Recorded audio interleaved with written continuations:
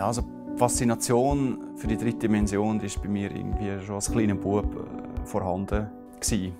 Und wenn ich so zurückdenke, äh, ist es schon so, dass ich eigentlich auch fliegen konnte, bevor ich auch Auto fahren konnte.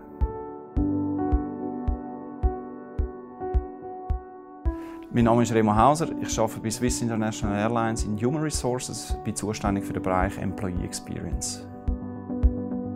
Mein Vater war Pilot der Schweizer Luftwaffe, mein Onkel ist Pilot, mein Großvater ist selber geflogen.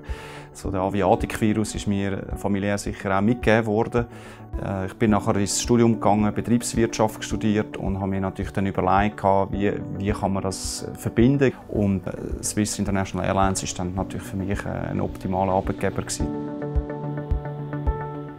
Also die Zeit im Management Graduate Trainee Programm Pro Team bei der Swiss war sehr äh, interessante, lehrreiche und auch äh, amüsierende Zeit. Gewesen. Dort konnte ich zum Beispiel auch können, in New York ich die Chance, an der Kundenfront dabei zu sein, zu verstehen, wieso Leute Swiss buchen und was auch das Thema Swissness an den Kunden, wie ankommt und was es auf sich hat.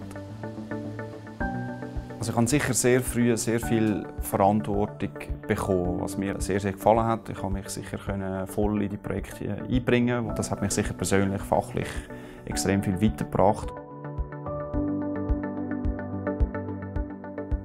Wir haben eine Kultur, die sehr vielseitige und unterschiedliche Persönlichkeiten vereint. Wir haben eine Kultur, die, sehr nahbar ist, die sehr zugänglich ist. Wir haben eine Du-Kultur äh, bis, äh, bis zu oberst in die Geschäftsleitung.